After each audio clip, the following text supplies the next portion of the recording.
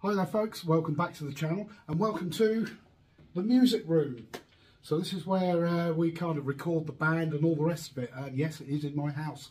Um, and do I get told off for noise?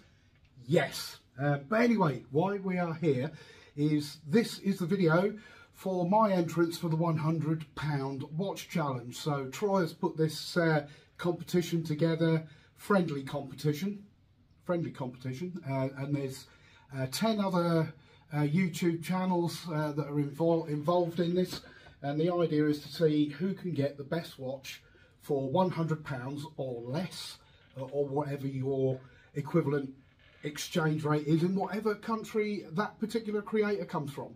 Anyway, I have mine. I have it here in this box. So there we go. Yeah, uh, I'm not going to review it. Um, it's not going to be a full review. It will be my usual thing. Um, I will reveal the watch in a, a short video run uh, and some close-ups as well. Uh, so you can have a look at it and then we'll get it under the camera. I'll tell you about the watch and why I think it's probably the best value watch that you can get for under a hundred quid. Um, so yes, sit back and enjoy the video and uh, good luck to everybody else you're going to need it because I know what's in that box. See you on the other side of the camera.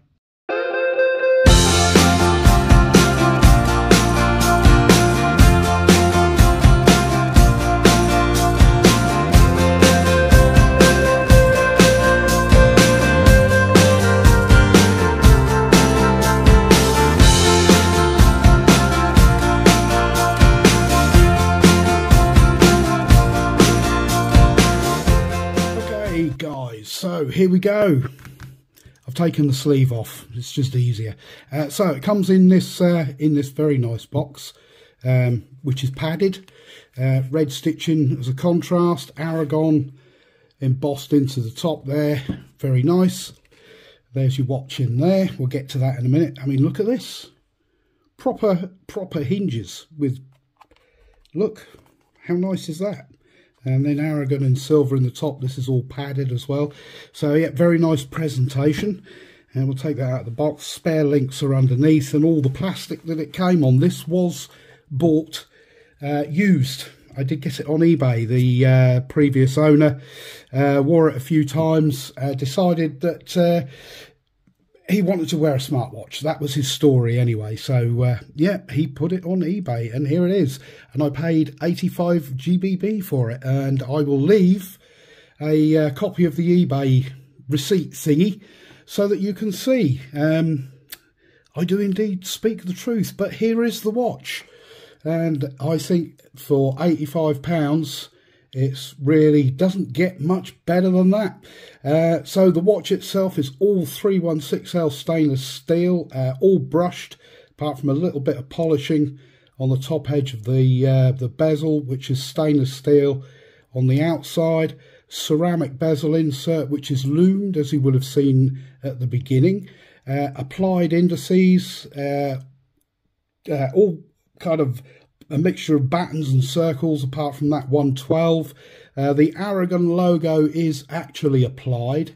Um, you, you, can't really tell until you get it up really, really close. We will move in on the dial. We'll have a bit of a closer look at that. And hopefully you can see that. The uh, uh, sapphire crystal, which is covering that dial, and which has got that really, really vivid green sunburst effect on there, which I think is really cool.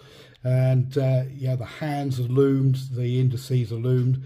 You got the day and the date at the three o'clock position. This is running the Seiko NH36 movement 21,600 vibrations per hour 41 hour power reserve with hacking and hand winding. Um, screw down crown and I shall run some loom footage again because then you can see that crown that's all lit up which is really cool so yeah, and uh, yeah, I know you've seen it at the beginning, but you're seeing it again because it is that good. Uh, so the bezel, uh, we will uh, just zoom out just a little bit, and then I will. You can listen to the bezel. Very positive clicks. Little bit of a springy return when you let go, if you can see that. But other than that, no back play, absolutely no bounce. And trying to do this without looking through the camera because that's always a bit wrong. Uh, that does actually line up. Uh, dimensions of the watch, it is absolutely bang on 42 millimeters at the case, including the crown is 44.8. We got a lug to lug of 48.2, but we do have male end links on the uh, center of that bracelet, so that does take that out to 55.5 millimeters. So that is quite long when you take that bracelet into consideration.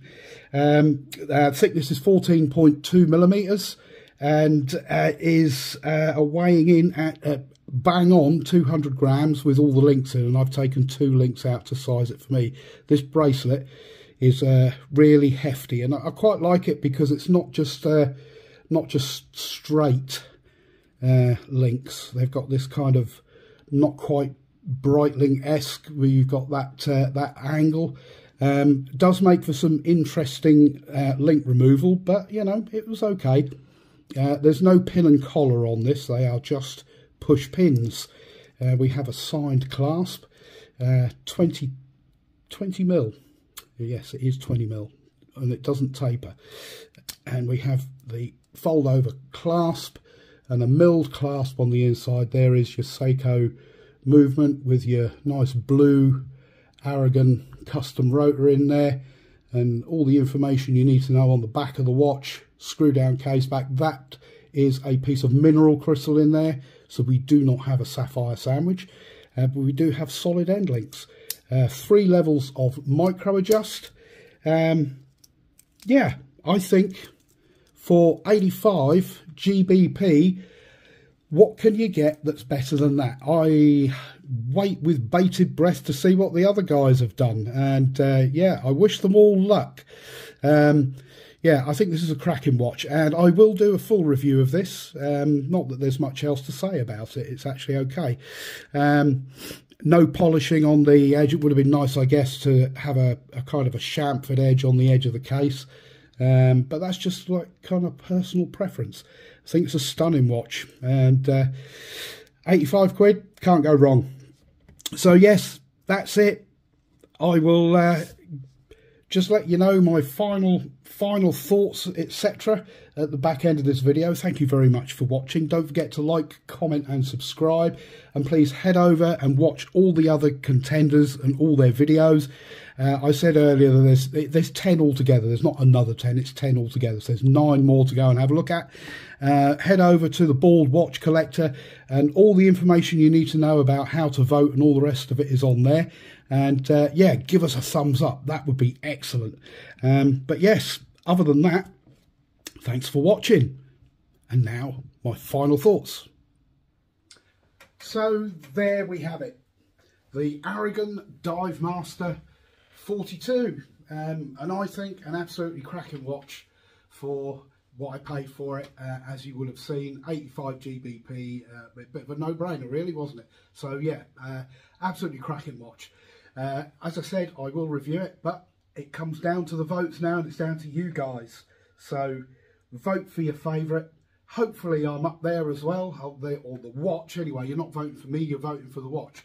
Uh, I think the watch is really good. I think it's that good that uh, it um, really, the best way to put it, I will leave it to my alter ego. Those of you that know me know that I play in a rock band and this is what I think it deserves.